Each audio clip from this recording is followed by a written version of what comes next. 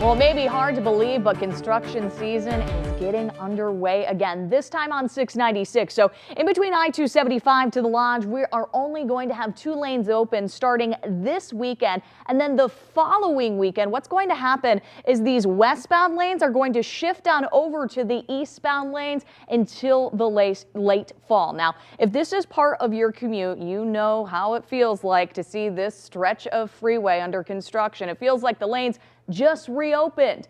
Now, we took to Facebook and we wanted to hear from you about this construction. And drivers say, yeah, it seems never ending. We sent photojournalist Mike Glover to that section of 696 to hear from drivers about what they think about this construction now getting back into place and how they're going to be dealing with that short term pain for a long term gain. I'm usually just cruising down the freeway over to M5, but now I'll have to obey the speed limit down 12 mile. Everybody's figuring the same thing. I'm gonna take an alternative route. They need to fix it. These roads are terrible. It was inconvenient for a long time last year, and it finally got done. You was like, wow, we got a little relief. Obviously, it sucks when it has to be shut down, you know, for months at a time. This is news to me that it's coming back again. But hey, uh, she's trying to fix the roads. I guess we understand.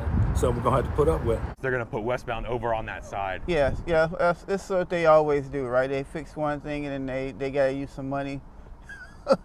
the construction money to get the other side done. This is the most money and work I put into my car. I just got a throttle pedal done. or What I forgot what it's called. It was not cooling link, uh, my tires, stuff hitting my windshield. Oh, it's terrible. Throughout the last year here, I've made the mistake of going onto the highway over here, thinking that it would be faster than driving down 12 mile. It proved me wrong quite a few times.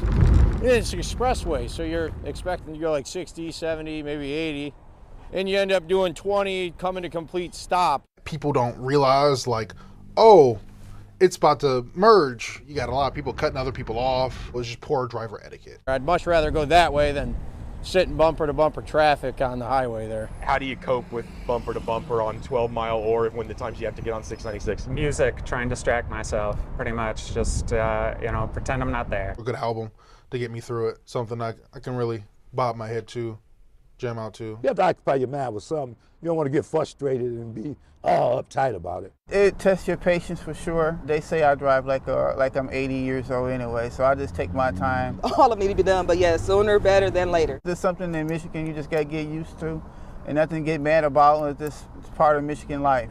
Mike Glover, 7 Action